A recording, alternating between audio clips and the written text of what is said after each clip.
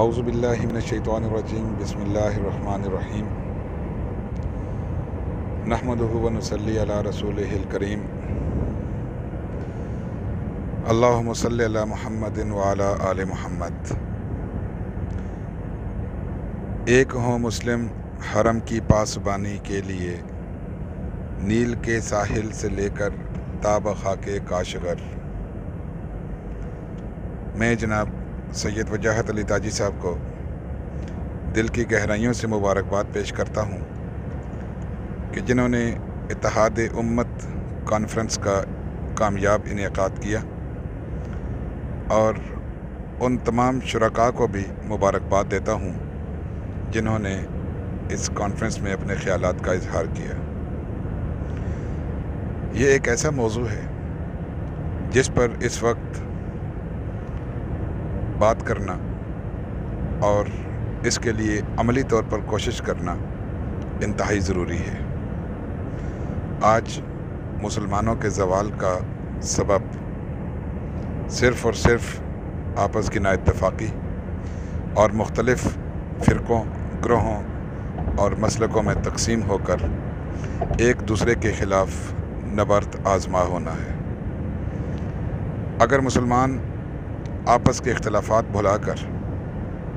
और अल्लाह ताला के इस फरमान को वा तसम बहबल्ला जमीयों वला तफ़र्रक़ो पर अमल पैरा होकर एक मुट्ठी की तरह यकजान हो जाए तो दुनिया की कोई ताकत भी मुसलमानों को नुकसान नहीं पहुँचा सकती। आज अगर दुनिया के डेढ़ अरब मुसलमान एक झंडे तले जमा हो जाएँ और वो उम्मत जो कि नबी करीम सल्लल्लाहु अलैहि वसल्लम की नबूवत पर ईमान लेकर आई है, वो एक जगह इकट्ठी होकर अगर कुफ़ार के ख़िलाफ़ आवाज़ बुलंद करेगी तो वो इन आवाज़ न सिर्फ़ ये कि पूरी दुनिया में सुनी जाएगी, बल्कि उसके अंदर एक अपना ही असर भी होगा। मैं इस कॉन्फ्रेंस के ज़रिए से तमाम दुनिया के मुसलमानों से ये अपील करता हूँ